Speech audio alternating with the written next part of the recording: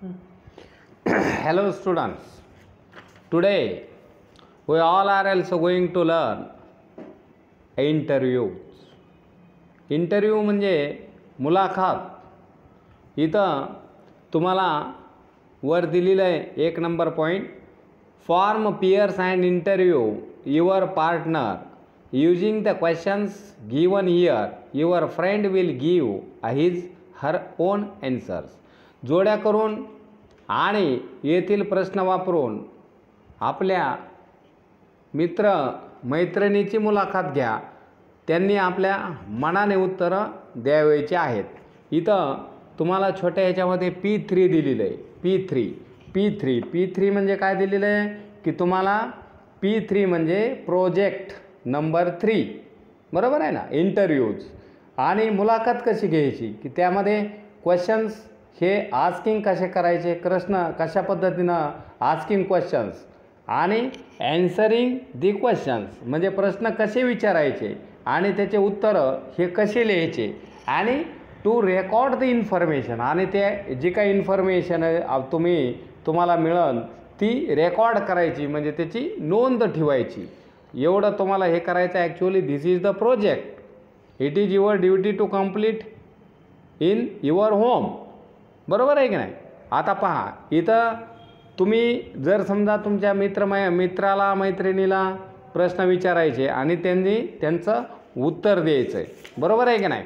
पहा आता इथं पहिला क्वेश्चन आहे. What's your name what's your full name what's your full name पहा मग आता तुम्ही विचारला हा प्रश्न. You asked question what what's your full name तुझे पूर्ण नाव काय?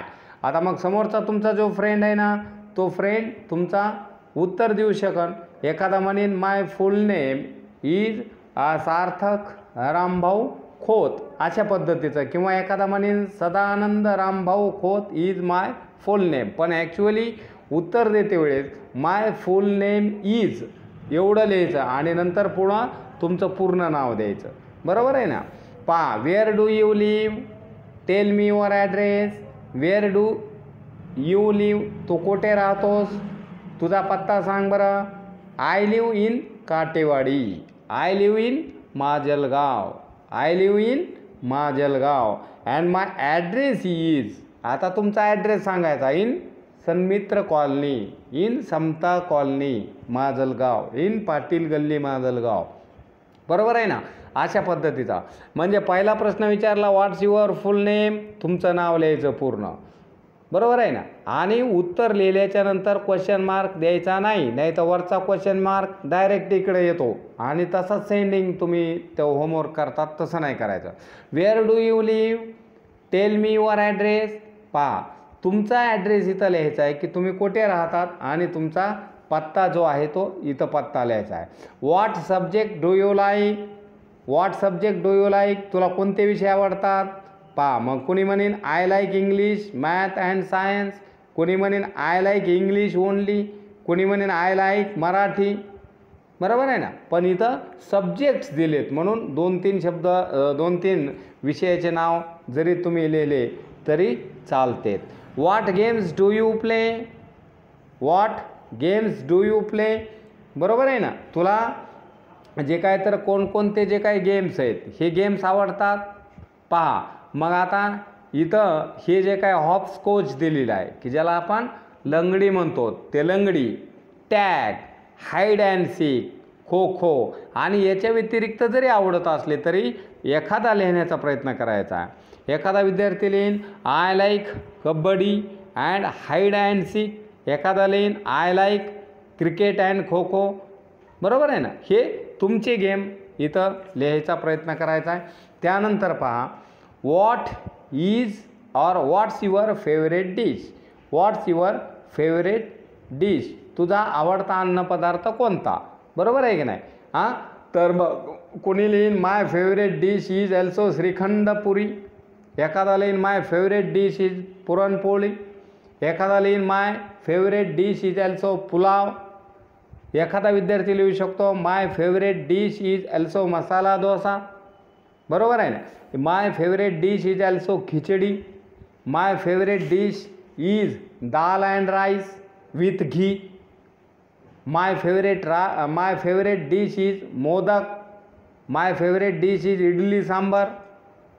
बरोबर आहे? अशा पद्धती पाणीपुरी वगैरे हे ते काही लिहायचा प्रयत्न नाही करायचा नाही तर प्रत्येकाला विचारलं what is your favourite dish की लगेच सांगते my favourite dish is panipuri.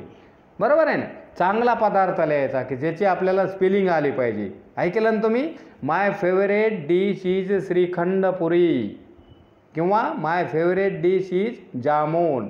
My favourite dish is puranpoli which is also very favourite in all over Maharashtra महाराष्ट्रामध्ये एक सुप्रसिद्ध अशी पुरणपोळी ही जे काही प्रसिद्ध जो काय अन्नपदार्थ आहे पण ते आपल्याला आवडत नाही त्यामुळं आपण आपलं कोणता पदार्थ लिहित होतं? हां? इडली डोसा हे जे काय पदार्थ आहेत किंवा पाणीपुरी वडापाव अशा पद्धतीतलं कोणतं जरी लिहिलं तर तर असं काही नाही फक्त त्याची स्पेलिंग आली पाहिजे. पा व्हॉट्स युअर हॉबी तुमचा काय छंद आहे? व्हॉट्स युअर हॉबी की छंद कोणता कोणता आहे तुम्हाला? पहा माय हॉब आणि उत्तरं इथंच दिलेली आहेत. एखाद्या प्रश्नाचं उत्तर नाही. What's your hobby my hobby is singing and dancing एखादा लिहिन my hobby is also climbing hills म्हणजे टेकडीवर चढणे. पहा my hobby is also drawing a pictures playing the drum म्हणजे जे काही मृदंग वाजविणे किंवा ड्रम ढोल वाजविणे. माय हॉबी इज इटिंग बरोबर आहे ना? मला खाण्याचा छंद आहे. माय हॉबी इज स्लिपिंग बरोबर आहे? माय हॉबी इज फिसलिंग म्हणजे शिट्टी वाजवणे. माय हॉबी इज रीडिंग बरोबर आहे ना? रीडिंग ही चांगली हॉबी ती लिहू शकता तुम्ही. आ collecting a stamps to collect the stamps is my hobby अशा पद्धतीचे. स्विमिंग इज माय हॉबी अशा पद्धतीचे जे काही छंद आहे हा छंद तुम्ही लिहायचा प्रयत्न करायचा आहे. बरोबर आहे ना? नाव tell me a few things about yourself पहा हे प्रश्न हे इंटरव्ह्यू कोणाचा घ्यायला तुम्ही? तुमच्या मित्र किंवा मैत्रिणीचा. पहा इथं दोन छोटे छोटे मुलं दिसतात. एक जणाच्या हातामध्ये कागद आणि पेन आहे आणि तो त्या जी काय मुलगी तिला प्रश्न विचारायला लागलेला आहे. Tell me a few things about yourself tell me a few things about yourself मला तुझ्याविषयी काही गोष्टी सांग. बरोबर आहे की नाही? मग आता ते काय सांगणार आहे? आय कॅन फिसल I can sing I can swim I want to learn karate I can write poems I like to ride a bicycle I can use computer I like to rear a birds I like to rear birds जे काही खरे प्राणी पशु पक्षी ते मला आवडतात. अशा पद्धतीनं जे काही मुलाखत देणारा मुलगा आहे त्यांनी स्वतःची माहिती ही द्यायची आणि या नमुन्यामध्ये उत्तरं त्यांनी या नमुन्यातच उत्तर दिले पाहिजे. असं काही नाही की तुम्हाला जे उत्तर योग्य वाटतं आहे ते तुम्ही देऊ शकता. फॉर एक्झाम्पल इकडं दिलेलं आहे तुम्ही. Read the specimen given below now write your friend's profile using his her answers खाली दिलेल्याचा काय नमुना आहे? तो नमुना तुमच्या मित्राची मैत्रिणीची उत्तरे लक्षात घेऊन त्याचे पान तयार करा. म्हणजे हा चार्ट जशाल तसा तयार करायचा आहे. पहा मीट माय फ्रेंड माझ्या मित्राला भेटा. काय दिलेलं आहे इथं? नेम. इथं काय दिलं आहे राधिका प्रकाश देशमुख. बरोबर आहे? जशाल तसं जरी काढलं तरी चालतं आहे किंवा तुमच्या मित्राची किंवा मैत्रिणीची ॲक्युरेट माहिती स्पेलिंग न चुकता इथं लिहून टा पाठवायची. ॲड्रेस थर्टी वन नवी पेठ नवे गाव. गेम्स शी प्लेस कोणते खेळ खेळ आवडतात?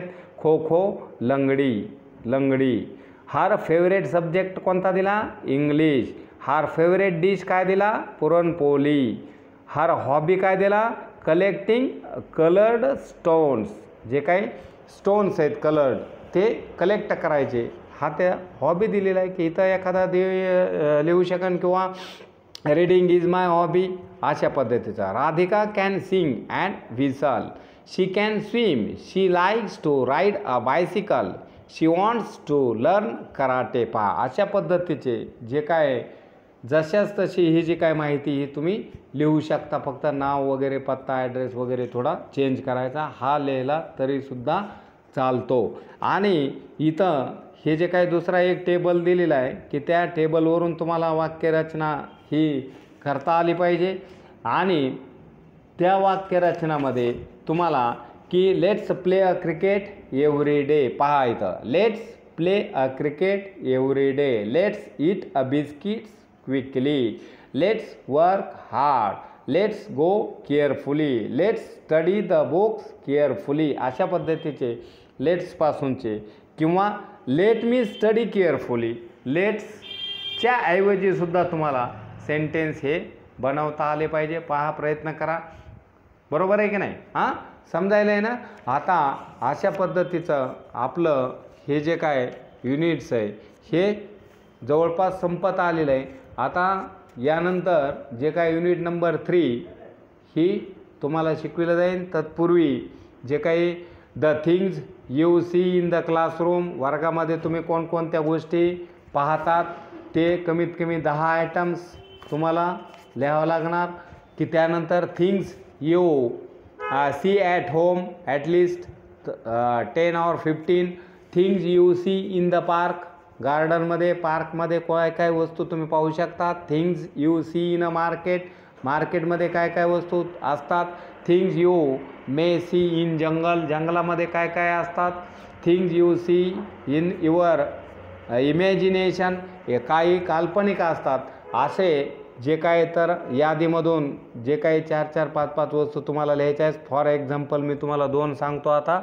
आणि things you see in classroom मग वर्गात काय काय पाहत होता आपण? Benches blackboard charts books chairs classroom teacher student हे का नाही? मॅडम अशा पद्धतीचे. Thing you see at home घरी काय काय वस्तू असतात? पहा fan T V sofa bed mat table हे की नाही? गार्डन अशा पद्धतीच्या एक स्पेलिंग हीची मिस्टेक न होऊ देता तुम्ही हे प्रोजेक्ट हा कंप्लीट करायचा आहे. तुमच्या पेज नंबर तीसवर दिलेला आहे.